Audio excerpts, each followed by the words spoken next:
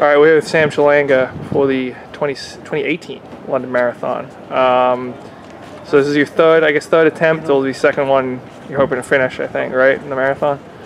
Oh, I would say it's the second one. I don't really count the first one. Trials, That, that was yeah. just like, I don't know, a long tempo that I did in LA. yeah. Um, and how, how do you feel like your build-up's gone? How do you feel uh, going into the race? You know, I'm really, I feel good. You know, I can't complain because, you know, there's so much stuff that goes into the marathon and it's such a long time of, uh, for preparation. And I think, given the three months and what I've done, I can just say that if I was to judge based on my three build-up races, I think I'm ready. But then again, they were just half marathon. My only question mark is on the endurance. Yeah. Have I done enough to give me the endurance? Because I know I've got the speed, and I'm just hoping that my endurance is there and I can hold a good pace on Sunday. Yeah, I mean, the results, I looked through them. Six in Houston, 60-37, that was a big PR. And second at the US 15K Champs, another you know great performance. And then 14th at World Half. I mean, we, we, I guess Houston, were you so were you surprised you ran that quickly, or what were your thoughts on that race? I was very surprised, and I just felt good. I didn't even know how fast I could run. Mhm. In fact, I only saw it like the last 10 seconds. I was like, oh wow, look at the time. It's under one hour. I mean, under 61. Yeah. I was happy about that. But then I hadn't done the longer stuff, you know? Yeah, yeah. And I hadn't hit like 24 milers and stuff like that. So once I hit some 24 milers and like up the mileage to like 120, 125, and then I, I did the 101 and the 15K, felt a little bit tired on my legs. Yeah. Yeah. So you feeling less tired now, or how are your legs feeling after that big, you know, all the miles? I feel good. I feel good. I I've been tapering the last two weeks. Mhm. The last three weeks I went like 180 something, and then this week I'm only gonna be like around 60. Yeah.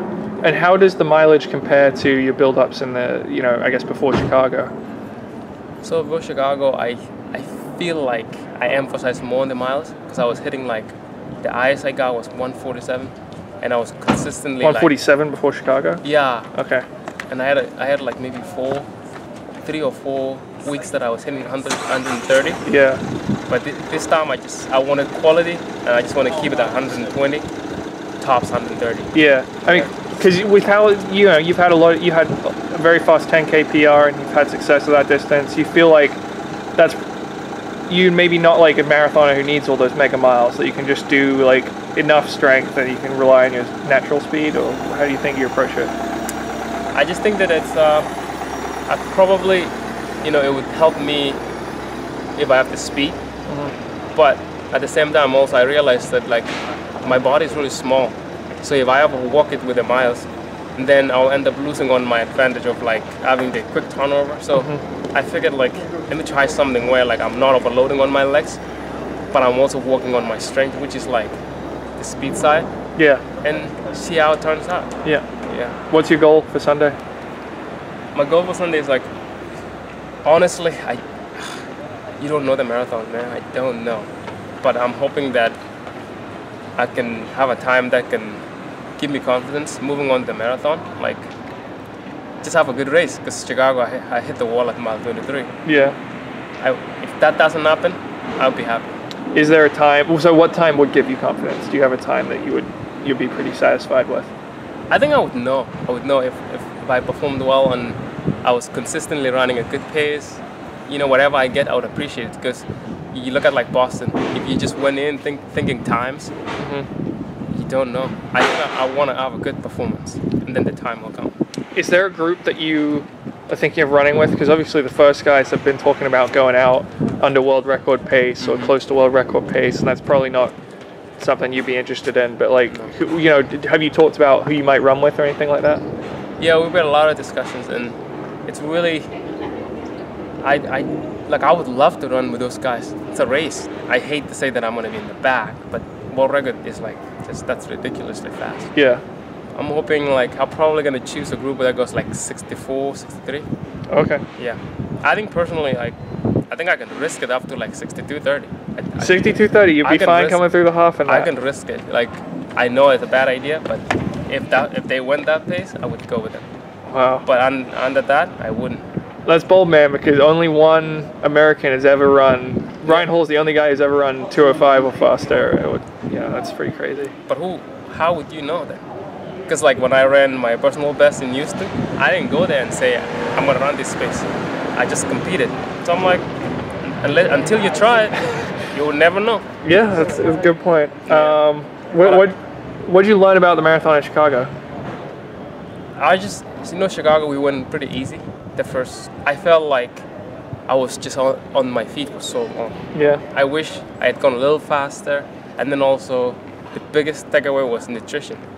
I never really understood sports nutrition when it comes to marathon. So like during the race or in the build up to the race? During the what? race, like I'm talking about, like what are you drinking? Yeah. And so that was my big problem. What was the problem? What were you drinking? I didn't really. I was just drinking electrolytes. Okay. Like more like Gatorade, just like sodium, potassium, things like that. I didn't have like energy in it, carbs, and then I discovered like that drink that uh, Kipchoge drink called Maurten. Maurten, yeah. and down I was like, it, it's really helped me because if you're small, you can't store so much. because I can't eat like all the calories that I want. Yeah. So that one helps me fill up the rest, and then during the race I can take like I don't know how many ounces, about 5k. It Yeah. will help me. I'm really, I really think it will help to have uh, carbs. Ta- yeah, taking in carbs as Yeah. opposed to just electrolytes. Yeah, I think it will help. So, do you have a prediction for the men's race? Who wins winning time? I think that they probably, if they went under the world record pace, probably like, because I only saw Kipchoge last year at the Breaking 2. Mm-hmm. He's pretty good. I think I think he should be able to win.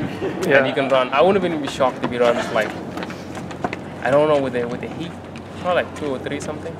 Okay. If they went under the marathon record.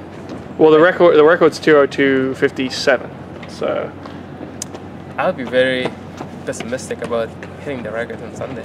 because of the weather. It's, yeah, the weather is not ideal, and like there's so many turns. What's the end Yeah. on this course? Well, Kipchoge, Kipchoge, Kipchoge has run 203.05 here before. He ran his PR here a couple What's the weather ago. the same as now? No, I think it was better than this weather. I mean, it was a little cooler. That's what. All I know is he's very strong, Yeah. and although we don't know how Bekele would do, but you know when it comes to these like head head to head matchups with big guys, somebody cracks, but I don't expect Kipchoge to crack. I, I feel like I'm more confident just picking him as a winner. I don't know the time he will run because it's a little bit warm. He'll- Yeah. yeah, and there's, there's also pollen in the air, so Yeah. All right, Sam. Well, appreciate the time and uh, good luck on uh, Sunday in London. thank you.